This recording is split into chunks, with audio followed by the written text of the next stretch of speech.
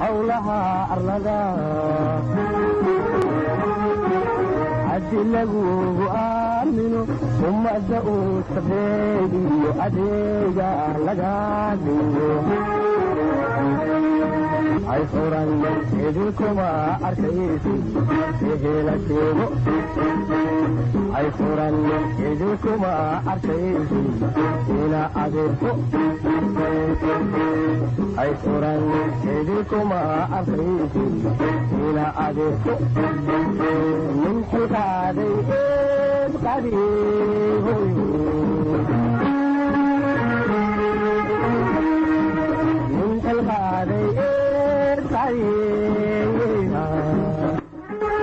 alxamdu lilaahi rabi lcaalamiin waxaan salaamaynaa ummadda soomaaliyeed guud ahaan dibad iyo daakilba gaar ahaan. Waxaan salaamaynaa bahda saxaafadda. Waa idin salaamna si jamac ah. Intiina nala joogto iyo intaa idinla camalka ahee mujtamaca soomaaliyeed. Dhagahooda gaarsiisa wixii dhaco wanaag iyo waxyeelaba waxaan ku salaamaynaa salaamta islaamka. Assalaamu calaykum waraxmat ullahi wabarakaatu waxaynu mar walba u taagannahay badbaadada shacabka soomaaliyeed inaan muujino idinkana idiin soo gudbino waxaan ka hadlaynaa waxaa weliya saaxiibkay cornel cabdirashiid macalin gaas iyo asxaab kaloo badan. Waxaynu ka hadlaynaa gobollada jubba iyo duulaankii dowladda kenya oo dhulkeenna ku soo duushay bad iyo biriba damaca kaga jiray.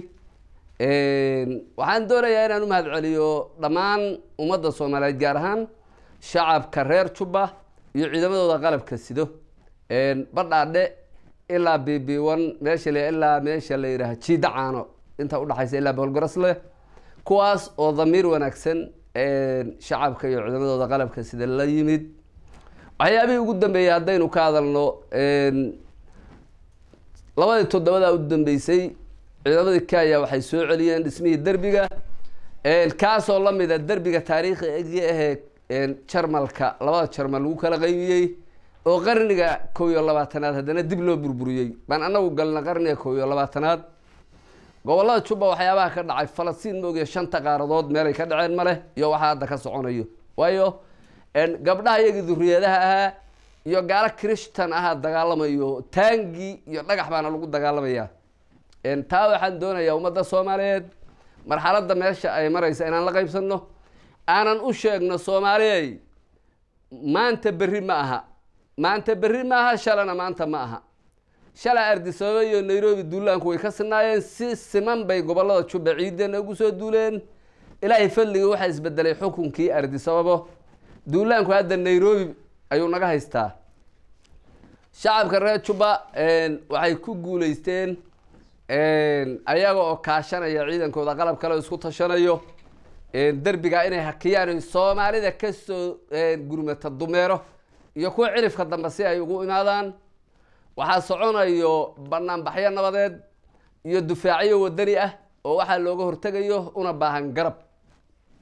Waxaan rabaa soomaalida inaan xasuusiyo xan qofka ay ku ahayd ha xaqiiqsado kenya ayada oo dhulkeeniina sheegatay gabdhehenina taangi dhinacna tawreed kale dhinacna cagafka oo dhulka duminayo lagu laynayo nimanka nairobi joogo awalla la xamanayo dadku qaarxan u haysto dhul bay gateen iyo maana gadanaha horta hala xaqiiqsada maanta. Maxay nairobi ka jiraan? Safaaraddii soomaaliya nairobi waa laga soo cayriyey. Beled xaawaa saddex kun oo tillaabo gudaheedu taangigu marayaa. Okay waxaa loo diiday dadka gobollada juba joogo boholgaras ilaa badhaadhe ilaa kayunga inta udhexaysa dadka joogo. Xuduudda n f d oo kunka kilomitr ku dhow dadka jooga wax gargaara iyo wax samafala iyo wax noolal ama leh. Waxay ku noolaayeen shirkadaha isgaarsiinta oo u ah maadaama lacagteeni baaba-day acon dhaqaale ee lacagta ay ugu dhacdo oo u ah isgaarsiin ay isku maqlaan. Magaalada ceel waaq la yihahda iyo magaalada afmadow la yihahdo iyo magaalada ceel waaq la yihahda magaalada bu-aale iyo baar dheer iyo ceel waaq. Ilaa beled xaawa soo gaarto dhamase ku mariso shirkadii hormuud dhulkaa la dhiga waa kanaa sawiradeeda ummadda soomaaliyeed inaad la wadaagtaan baan idin weydiisanayaa boqol iyo labaatankii cisho u dambeysay waxaa ku dhimatay meeshaas sagaal qof inta aan ognahay iyo in ka badan waxa weye laba boqol iyo toddobaatan neef oo lo iyo ari iyo geel isugu jiro. Sawiradooda iyo fideoyaan idin siin doonaa. Ciidamada kenya waxay ka guureen laba iyo toban rugood oo gobolka gada ka mid ah kadib dadkaa damiirka wanaagsan ee reer juba markii ay damiirkooda wanaagsan iyo dufaaca wadaniyadooda ay arkeen laba iyo tobanka goobood ay ka guureen waxaa ku noolaa askar soomaaliyeed oo la dagaalamaysa kooxdan argagixisada al-shabaab. Askartaasoo dee fikirku uu ahaa in uun cid kasta oo naga caawinaysa la kaashado. Askartaas iyo eheladoodii dadkii ay ka gana la ganacsanayay oo mujtamacaha xiriirka la lahaa ayagoo kooxdan dalkeenna in lagu dhaco doonayo ka cararayo baa waxay isugu tageen degmada ceelwaq meelaha laga guuray. Waxaa ka mid ah magaalada baardheere tarako faafaxdhuun buusaar ceelcadde dhamaso geriley dhuyac garoon iyo goobo kaleo aada u fara badan. Halkaa dadkii shacabka ah ka qaxay wuxuu isugu tegay degmada ceelwaaq buu barakacayaal ku yahay. Ma jiro hal guri oo degmada ceelwaaq ka mid ah oo aynan toban qoys ku dul degin. Dadka waxa weeye xilligan kaliisha ah oo aad garanaysaan oo biyuhu ay kharaar yihiin oo ceelal wadaana laga cabo shuban biyood baa ku dhacay hay'adda i c r c oo gurmad soo samaysay maadaama ceelwaq aeroborti ma leh gabadha hooyada ku foolata calibuley iyo meesha la yidhaaha wara dhoobley iyo faafaxdhuun iyo buusaar iyo ceelcadde gabadha hooyada oo ku foolato waxa weeye cirbad lagu duro ma leh umulse ka dhalisa ma leh cisbitaal la geeyo ma leh dhoobley iyo beled xaawo cisbitaal uma dhexeeyo. Dhulkaa intuu leegahay waa jarato ciidda soomaaliya ah. Waxa weeye baar dheere iyo meesha la yidhaahdo kismaayo cisbitaal uma dhexeeyo dhibaatadaa intaa la eg dadka soomaaliyeed ay haysta hay'adda i c r c oo damacday raashin inay siiso afar toddobaad baa waxay ku xaniban tahay ceel waa kenya. Ciidamada kenya lacag baada weydiistay. Maamulka walaalayaashana n f d o hadday iska dabacsan maamaha waxaa jirtay maskax guumaysi ku kortay iyo mayd dhintayba ma xanuunsadaan. Ana u mahad celinaya shacabka reer n f d oo walaalaha oo damiirka wanaagsan. Haddana dadka maamulka wee horjoogayaasha ah waa kuwo aan damiir lahayn oo walaalahood dhimanaya iyo gabdhaha geedaha hoostooda wax kaga umuliyala ama cirbad foosha loogu durala. In laga hor istaago qalinka loo marayo waxaa iskale kuwo jinsiga soomaali ka ah. Waxaan isaga da'ayaa marka kuwii baddayada gatay birigana cabiray oo qaarkood beled xaawa guddoomiyayaal ay ka sheeganayeen baaba nairobi iib u fadhiya inay ciidda iibsadaan. Waxaan leeyahay ummadda soomaaliyeedey maanta berri maaha. Addoonta waa ka adkaana gobolka jubbada hoose ay ku hartay kaniini bayna ku seexataa gobolka gado waa ka saarnay xuduuddii n f d o awalba ay guumaysan jirtay baan isugu geyna annaga oo weliba laba dowladood oo darisa dagaalkood ka maadanaynay laakiin xigmad samaynaynay. Dhulna waxaa lagu daafacaa sharafka bini aadamka dhiiggaa lagu daafacaa dhul dhiig iyo dhaqaale isla socdaa lagu difaacaa lama helo. Waxaan baaq u dirayaa qurba joogta soomaaliyeed dhammaan. Waxaan baaq u dirayaa guda joogta soomaaliyeed dhammaan. Waxaan baaq u dirayaa dowladdanada oo aan is leeyahay qalinkii ay lahayd way ka gaabisa dadka reer jubbaa yidhi dowlad lagama maarmee dowladdeena sharafta leh dugsi baan ka sugaynaa dareen baana nagu jiro. Dadka reer jubba afkooda anoo ku had annagoo ku hadlayno dowladda dareen bay ka qabaan. Ha caddayso warka ku aadan dadka reer jubba iyo dowladda cawaanka ee ku soo duushay bad iyo biriba oo dhacayso.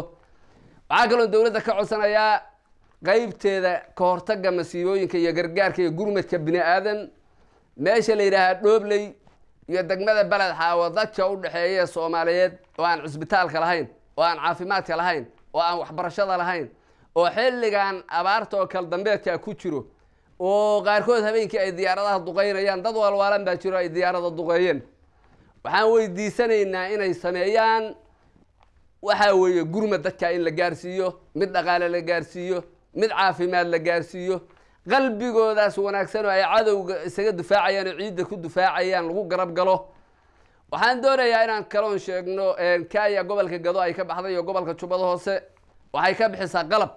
Qalabkaas oo ay siisay kooxdan dhallinyarada ah ee argagixisada caalamiga ah. Waxaa kaloo ay kaga tagta qalab ay diyaaradaheedu daadiyeen.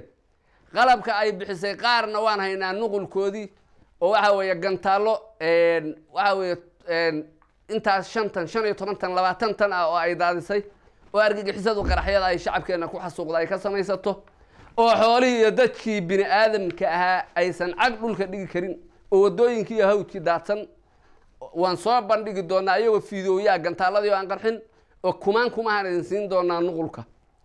Qolada mani action iyo ummadda la shaqaysa dowladda soomaaliyeed iyo dowladdaba waxaan leenaha dadka iyo dunyada haraagooda hala badbaadiyo dholal badan oo la tegi karo oo qaraxyadii yaallaan baa jiro. Magaalooyin laga qaxay baa jiro qaraxyadii ay daadiyeen diyaaradaha kenya ay dhex yaalaan oo dadkii xaaladoodu ay marxalad halisa ku marayso. Waxaa kaloon rabaa inaan idiin sheega sagaal iyo tobankii bishan ayada oo taangigii kenya degmada beledxaawo saddex kun oo tilaabo uu taagan yahay oo gabdhuhu ay dhagax ku dagaalamayaan. Waxaa saaxiiba kooxaha maamul ku-sheegyada ay sameeyeen cadowgu wuxuu sameeyey cadowgu markuu dhulkeena qabsanaya inuu qabsado uu raba waxaa la yidhahdaa qayb iyo xukun. Ummadda soomaaliyeed wuxuu hoggaan oga dhiga laba nin ama laba ruux. Ruux xaq u leh in xabsi la geliyo ummadda laga xakameeyo gacan ku dhiiglaho khaatil ah. Iyo ruux xaq u leh in la xanaaneeyo oo xaafadaha lagu hayo. Labadaasuu dadkii horjooga oga dhiga macnaheed waxay tahay qof aan waxba garanayn waxa socday wadciga aan ogeyn mujtamac baan masalayaana leho gumaysiga ku hoos jiro iyo ruux mujtamaci waa masalayaa leh mujtamacina inuu laayo oo dhibaateeyo rabo. Dowladda soomaaliyeed oo qalin kale ereyada aan leeyahay dugsi dugsi waa ka sugaynaa dareen baana nagu jira shacabku ay leeyihiin baa waxaa ka mid ah. Nin madaxnimo sheeganayo mujtamac madaxnimo u sheeganayo oo shalay nin aabihii boqolaal nin aabayaashoo dilay oo hooyooyinkood kufsaday oo guryahoodii cagaf mariyey oo haddana soo taagan oo le ummaddii baan madax u ahaa haddana musharaxa baan ahaa mar labaad iyo mar saddexaad. Waa qofkii bini aadamkaa laga qaban lahaa waxyaabaha waxay ka mid tahay loo baahan yahay in sharciyad loo helo. Waxay la tahay haddii dastuurkeenna qabi yahay kitaabka ilaahay baa dhamaystiran waxaan baaq u dirayaa anoo saaxiibka uu iga dambayn doono dhammaan ummadda soomaaliyeed gaar ahaan culimmada diinta islaamka baratay. Waxaan leeyahay dhalinyarada diinta madluumiinta adaalimiintana oo beenta loo sheegay oo soomaaliyeed oo la marin habaabiyey iyo shacabkaba u caddeeyay diinta islaamka waxa ay ka qabto ayadoo dhulkeenna hal gaal a joogin. Baa odayaal soomaaliyeed xaafado jooga la yidhi waa la jahaadaynaa. Waxaa ku xigtay ardisabab baan ku tukanaynaa. Gobollada jubba markaan ka soo hadalno hal taakoo jubba ka mid a ayadoo aan gaal joogin baa kismaayana laku weerara. Ciidamadiina weeraray waxaa watay sheekh xasan daahir aweys iyo sheekh mukhtaar roobow cali mansuur oo hadda madaxnimo raadinayo qaarkood maxaabiis u yihiin iyo sheekh axmed madoobe iyo sheekhyaal kale aada u fara badan.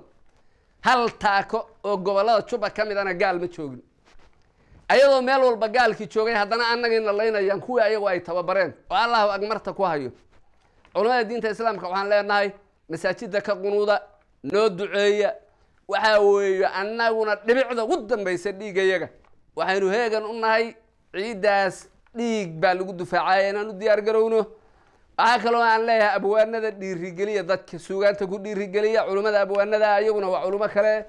Baraarujiya dadka shacabka soomaaliyeed oo waa idinku sina derbigii beled xaawo waxaa weeye ay gaaladu rabtay inay ka dhisto bar baan dubina barka kalena maanta gabdhaha gacanta kula jiro waxaan u adkaysanaa gaajada waxaan u adkaysanaa gantaalada diyaaradda waxaan idinku salaamayaa salaanta islaamka dhammaantiin boqol toban iyo afarta saaxiibkay baa iga dambayn doona insha allahu tacaala بسم الله بعزة الله وقدرته وعظمته وعونه الحمد لله رب العالمين الرحمن الرحيم مالك يوم الدين اللهم إياك نعبد وإياك نستعين وصلى اللهم على سيدنا مولانا محمد وعلى آله وصحبه وسلم أما بعد أخواني هل كان ما أنت تاريخ ذو أي تهي ميلادك سدح إيا اللواتنكي بشي أفراد labada kun iyo sagaaliyo tobanka hijratul islaamna ay tahay kun iyo afar boqol afartan bishii sideedaad shacbaan rabadaan qariib uu yahay.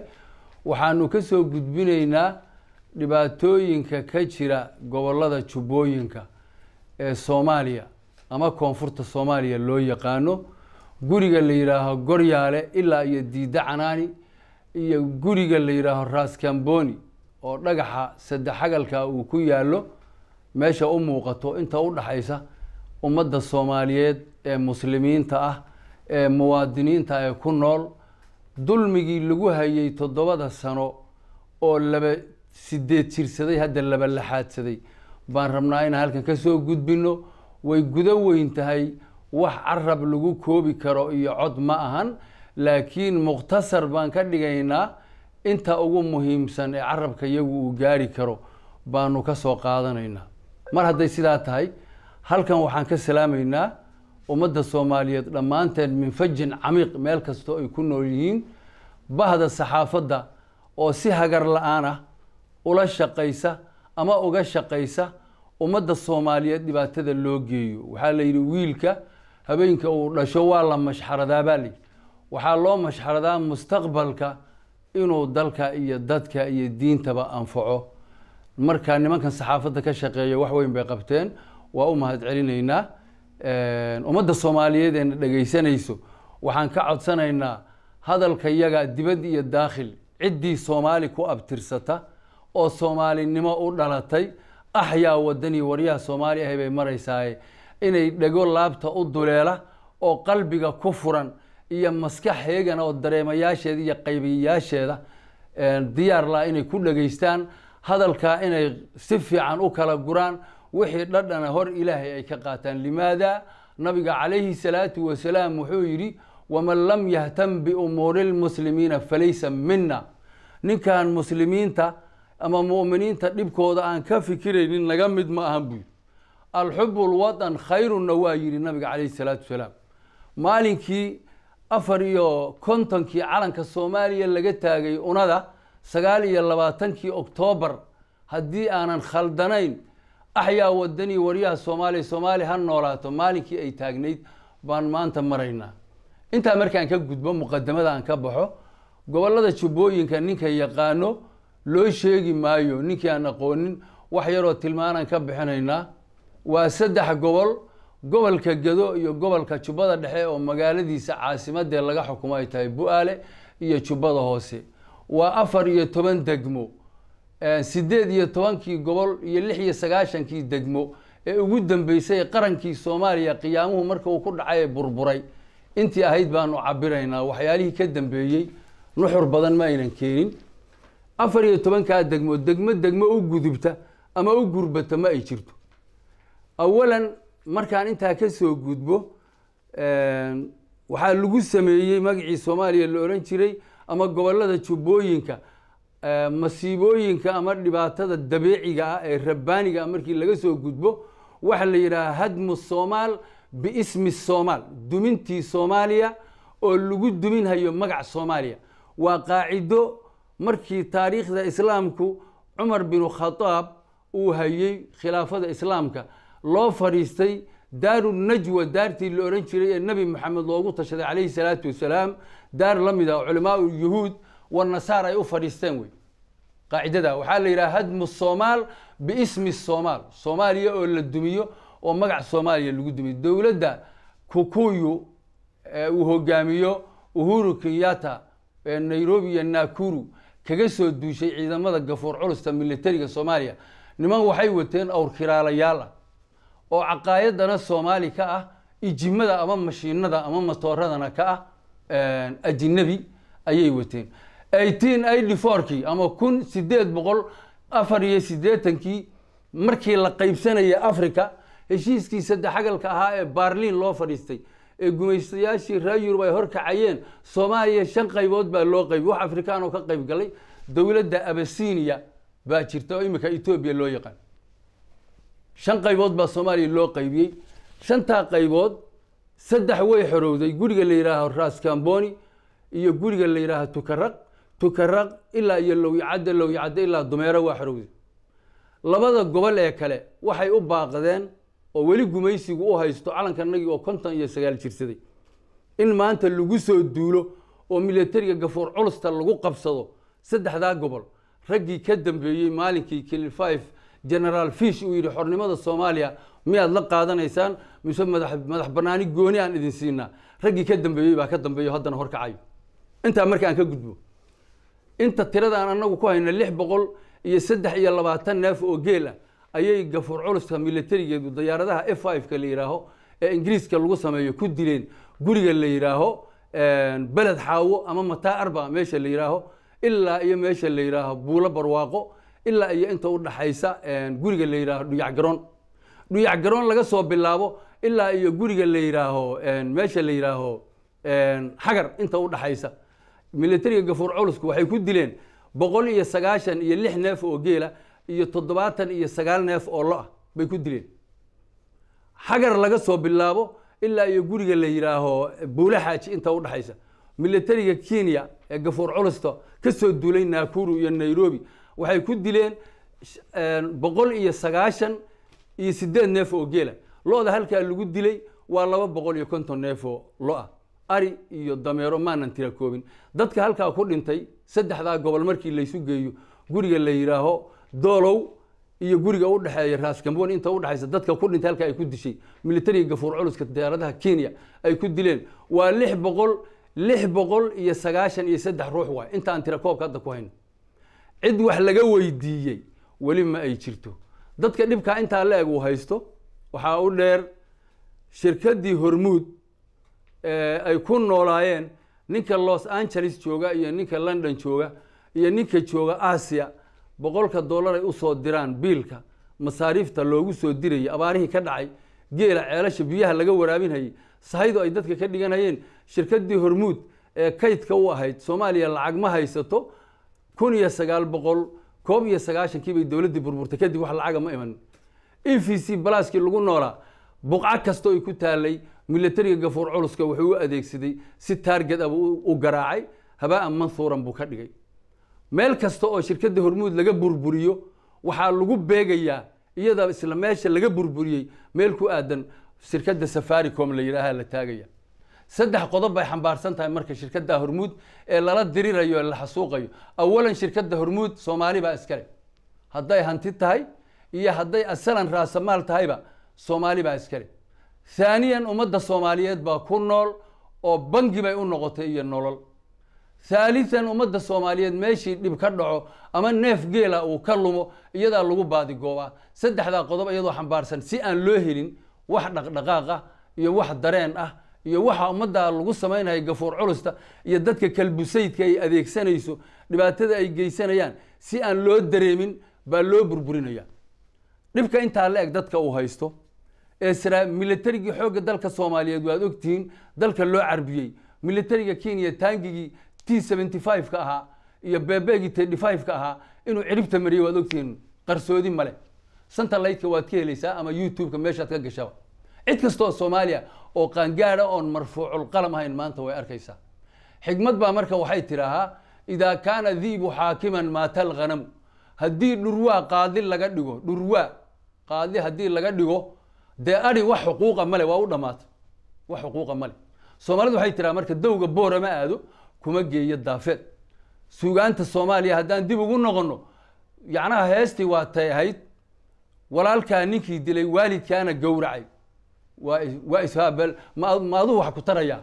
Ummad yahay isweydii eighteen eighty fourki nineteen eighty fourki kun iyo sagaal boqol afar iyo siddeetankii waa galaa waad ogtihiin lix iyo tobankii august waxay ka dhigtay militariga gafuur culus. Shan kun iyo dhowr boqol oo ruux bay maalin qudha ka jirtay oo soomaaliya. Ma samaynaysa marka dhurwaabaa hooyadii wuxuu kula ballamay hooye haddaad nooshahayna waan ku nuugayaa haddaad dhimatana waan ku cunayaa. Marka ummadda soomaaliyeed haddii saddexdaa gobol la goosto oo lagu darsado kenya gafuur culus ay la goodo waad ogtihiin baddii soomaaliya reer sea iyo indian ocean saddex kun iyo saddex boqol saddex iyo soddon bay ahayd. Kun iyo saddex boqol iyo saddex iyo soddon waa reer sea raas casayr markaad soo gaadho yacnaha maaragtay labada balood meeshay ku kulmaan halkaasay ku egtahay. Laba kun oo kilomitirna waa indian ocean. Baddii intaa la ekayd baa maanta uhuru kenyatta wuxuu lehay anigaa iskale ummadda soomaaliyeed waxaan halkaa uga soo jeedinayaa su'aashaa bal intaad hoosta ka xariiqdaan xisaabta idiin soo baxda ansarkeeda hadday afar sagaal ku dhufan noqoto hadday boqol kiiba boqol noqoto noo soo gudbiya. Waxaan intaa ku darayaa waxaan intaa ku darayaa qodobka kalen u gudbaya wuxuu yahay magaalada la yidhaaho nairobi. Soomaalida waxay tiraa dhurwaa horena godkiisaa lagu gubaa. Taliskii tigreega markuu baaba-ay ee soomaaliya degma degmada iyo tuula tuulada u qaybiyey badda soomaaliyana qaybsaday. Waxaa soo baxday nairobi inay noqotay meesha soomaaliya laga dumiyo. Ninka mas'uuliyadda sheeganayo nin walbo muslim aday kuu taalla ama muwaadina. Haddaad rabto muslim ha ahaanin shiinuhu muslim ma aha ruushkuna muslim ma aha. Laakiin wadaniyad iyo waxaa ka dhexeeya xuquuqda dalka. Nin dal kasta nin kasta anu calanka soomaaliya xoraan dhashay. Calanka soomaaliya oo babanaya oo xoraan dhashay. Weligay gumaysi ima soo marin. Ciidamada xoogga dalka soomaaliyeed waxaan u xerooday kun sagaal boqol sideetankii markay xabashidu cirkiga dhulka ka soo xerooday weerar ka soo qaaday raggii dhuusay webiga lagu soo daadiyey baana maqraatiyaal bayled dhufayskii dhooro dhaqane. Waa siiradayda markaan ka warramo. Wixii la i baray waxay ahayd dadkaaga difaac diintaadana difaac dalkaagana difaac. Dalkaaga ha khayaamin diintaadana ha khayaamin dadkaagana ha khayaamin. Intaasaa lay baray. Markaan intaa ka soo gudbo nairobi nimanka ku kulmay ee hadda maanta imaaratis iyo norwich iyo israel iyo jaqaaq baqaaq iyo inta ilaahay nacay oo dhan hoos taagan ee lacagta ka soo guranaysa. Codkooda aanu dhegaysanan inay muqdisho duulaanka ku soo ah. Mas'uuliyiin baana soomaali ka nahay leh. Waxaan idin su'aalahay ummadda soomaaliya halkaa waxa aad ka sugtaan ama aad ka garanaysaan caqliyan haddaad u cabirtaan iyo caqiidiyan haddaad u cabirtaan iyo alcaqlu saliim yuwafiqu fi diin baa la yidhi. Waxaan aaminsanahay inaad jawaabteeda si waadixa uga jawaabi kartaan. Halna ogaada qabiil halka uuna dhigay waad ogtihin ninkii maanta qabiil ku taageersan ninka maanta qabiil ku taageersan ina cabdirashiid iyo shariif sakiin iyo cabdiraxmaan cabdishakuur iyo ragga la midka ee noocaasa ragga qabiilka ku taageersan iyo axmed madoobe. Dacuuha fa inahaa muntinun buu yidhi maalinta qiyaamo kuma difaaci doonaan. Markuu ibliis naarta jahanamo horteeda intuu soo istaago tarbuunka khudbo dheer uu ku qabto mikrofon afar iyo labaatana qaato kuma difaaci doonaan. Dalkana waxay ka iibsadeen gaalo.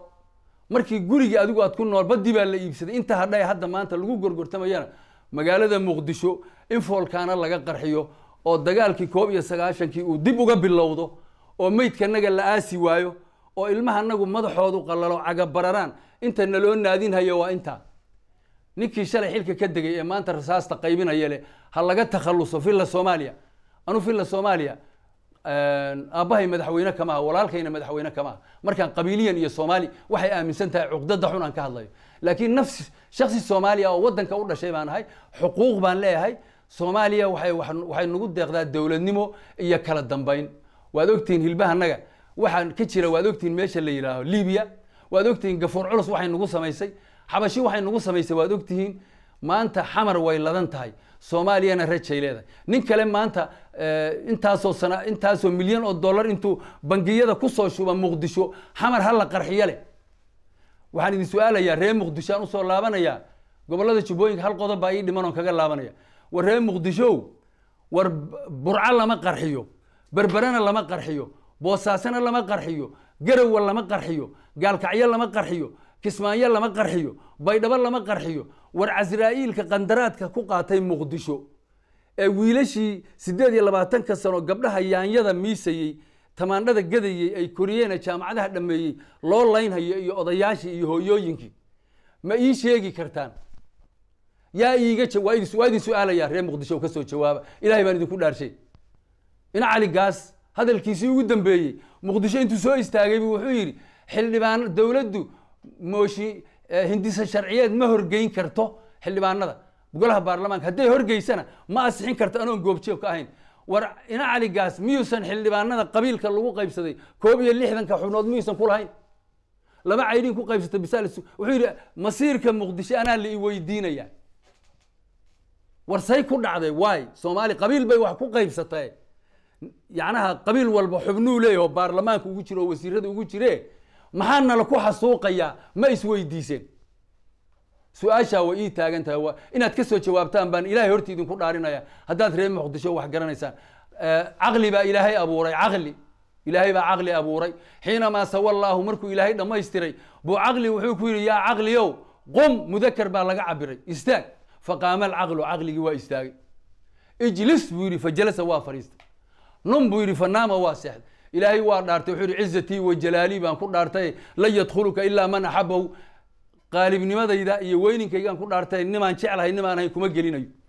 Fakhalaqa allaahu lxamaaqa carabiga xamaaqa lagu yidhaha doqonnimada. Ilaahay doqon buu abuuray. Xiinamaa sawa allaahu markuu ilaahay dhammaystiray yaa waxaa la yidhi mu'anas baa laga dhigay. Yaa xamaaqoy quumii istaag dhadig baa laga dhigay. Fanaamad way seexatay. Ilaahay wuxuu yidhi haddaad amarkaygii khilaaftay axsan fanum iskaba jiif fafarad way carartay. Ilaahay qaalibnimadiisi iyo jalaaladiisu ku dhaarto wuxuu yidhi nin aan nimaan nacay nimaan hayn kuma gelinayo. Doqon ilahayga abuurtay baa nacay. Nabi muusena wuxuu yidhi hana u gargaarin hana ka gargaar dalbin. Anugu waxaan idin leeyahay nabiga calayhi salaatu wasalaam wuxuu yidhi alkayisu man daama nafsahu wa camila lima bacda almowti. Ninka saaxiibo caqliga ah waa ninka caqligiisa ku xisaabtama geerida kabacdina u xisaabtama u camal fala. Culimada muqdisho joogta waxaan leeyahay hadda shirka ku jirta nabiga calayhi salaatu wasalaam wuxuu yidhi man katamahu cilmuhu can innaasi aljamahu llaahu yowma alqiyaamati bilujaami min annaar wixii ilaahay idin baray dadka intaad ka qarisaan ama aad lacag qaadataan oo adduunye aad u xilataan ama cabsi ay idinka geysay maalinta qiyaamo ilaahay cadaabku idinku fogeynayo waa xaqiiq ilaahay xakamo naaru idin gelinaya. Intaa muqdishoan kaga baxaya su'aashaasna waxaan rabaa reer muqdisho inay iga soo jawaabaan. Waa qodob. Haddaan jubbooyinka u laabto waxaan leeyahay ummadda soomaaliyeed sideed iyo tobanka gobol ee soomaaliya ku abtirsata maqaar sagaaro iga kac ma oge iga durug male bay soomaalidu tiraa waxay kaloo soomaalidu tiraa waxaraha iyo riyaha way isdhaleen wadkana waa u siman yihiin mareegta isdheer yihiin. Haddii gedo iyo jubbada dhexe iyo jubbada hoose gafur culus ay goosato oo shacabkii joogay la tirtiro taangiga t seventy five ka lagu tirtiro iyo beebega tedhi five ka iyo diyaaradaha f five ka lagu garaaco maalinka dambe waxa loo imanaya waad garanaysaan ee ku xiga hal barkeed qalan yahay barka kale ma geeda daaqday soomaalidu tiraa waxaan idin leeyahay axyaa wadani waryaha soomaaliya bay maanta maraysaa. Meel kasta ood joogtaan min qarnin ilaa qadamin shacabka ku nool gobollada jubbooyinka in loo gurmado ee walaalihiina. Ninkii hal dollar heli kara ninkii hal kiilo oo berihiisa heli kara in loo gurmado dadkaas oo hiil iyo hoo lala garab istaago militariga gafuur culuska ee ku soo duulayna sidii aan isaga dulqaadin lahayn nala ku garab istaago. Baan codsanaynaa limaada ifkaa laysu yeeshay? Haddaad ii arxami weyday aakhire markaan tago miyaan ina adeer dooni bur ninkii haddii maanta intii nala cuno aadna daawataan dee berri maxaan idinku falaynaa waxbaan idinku fali mayno in gafuur culus nagu tumato militarigeedii idinkuna aadna daawataan. Nasabadna ma aha ilaahayna ma ogola muslimnimaduna ma ogola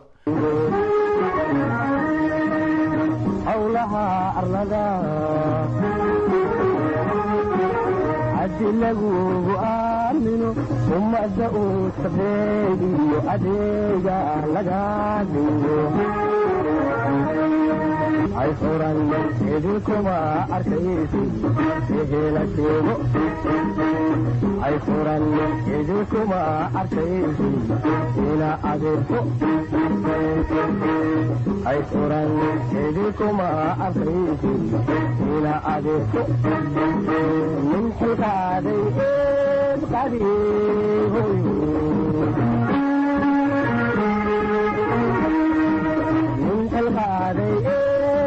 जाए